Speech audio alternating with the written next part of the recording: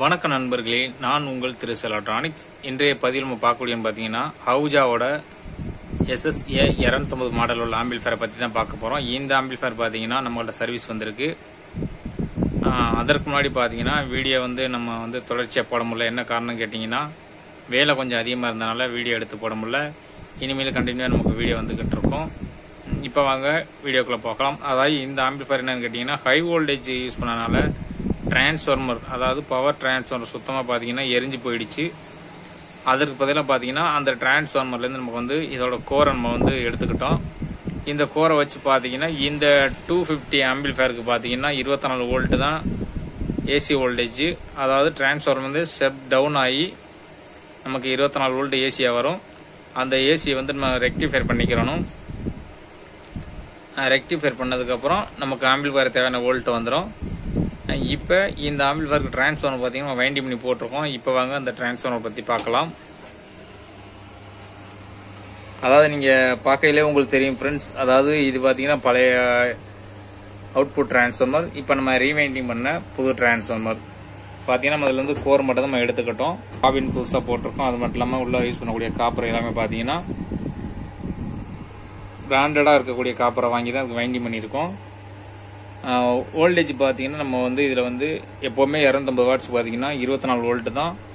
நான் இதில் வந்து கொஞ்சம் ஆடியோ கனமாக படிக்கிறதுக்காண்டி இருபத்தேழு வோல்ட்டு கொடுத்துருக்குறேன். நம்ம மெட்டல் டிரான்ஸ்ஃபர் பொறுத்தளவு பார்த்தீங்கன்னா மேக்ஸிமம் அறுபது வோல்ட் வரையும் தாங்கும். நான் பார்த்தீங்கன்னா இதில் பார்த்தீங்கன்னா இருபத்தேழு வோல்ட்டுக்கு நான் டிரான்ஸ்ஃபார்மர் வந்து வைண்டிங் பண்ணியிருக்கிறேன் இந்த டிரான்ஸ்ஃபார்மர் பொறுத்தளவு பார்த்தீங்கன்னா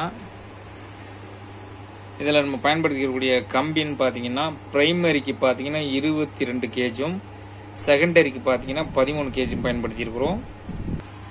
இதில் நான் பெயிண்டிங் மட்டும் பண்ணலை. என்னன்னு கேட்டிங்கன்னா கஸ்டமர் வந்து சுற்றி போட்டதாக இருக்கட்டும் பெயிண்டிங்லாம் பண்ண வேண்டாம் அப்படின்னு சொல்லிட்டாங்க.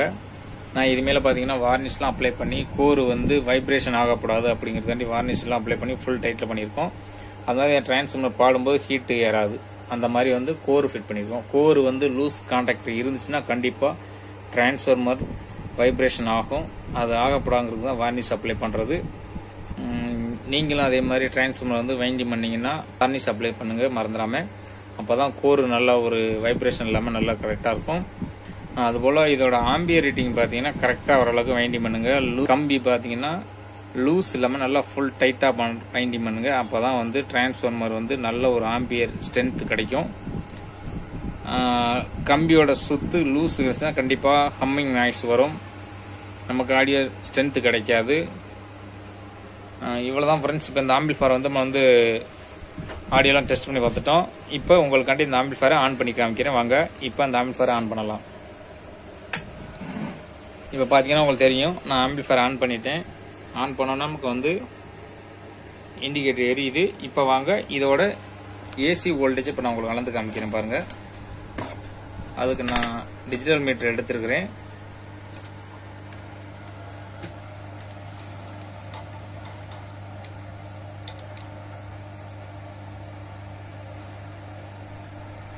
டிஜிட்டல் மீட்டர் எடுத்து நான் ரெண்டு லீடுலையும் வைக்கும்போது பார்த்தீங்கன்னா உங்களுக்கு தெரியும். இருபத்தொம்பது வோல்ட்டு கிட்ட வருது. நான் மெஷர் பண்ண பார்த்தீங்கன்னா இருபத்தேழு வோல்ட்டு நம்ம ஆடியோ லோடு கொடுத்துட்டோம்னா இதுலேருந்து நமக்கு வந்து வோல்டேஜ் கண்டிப்பாக கூடவும் குறைச்சும் வந்துக்கிட்டு தான் இருக்கும் பார்த்தீங்கன்னா உங்களுக்கு தெரியும். ஆனால் நான் வைண்டிங் பண்ணது பார்த்தீங்கன்னா ஃபுல்லாக டுவெண்ட்டி செவன் வோல்ட்டுக்கு தான் வைண்டிங் பண்ணேன். ஆடியோ நல்ல ஒரு ரிசல்ட் இருக்குது ஃப்ரெண்ட்ஸ் ஆம்பிளிஃபை ரன்னிங்கில் தான் இருக்குது நான் டெஸ்ட் பண்ணிட்டேன். நல்ல ஒரு ரிசல்ட் இருக்குது இந்த ஒரு வீடியோ உங்கள் பயனுள்ளதாக நம்ம சேனலை மறக்காமல் சப்ஸ்கிரைப் பண்ணிக்கோங்க. தேங்க்யூ ஃபார் வாட்சிங் நெக்ஸ்ட் வீடியோ சந்திக்கலாம் ஃப்ரெண்ட்ஸ்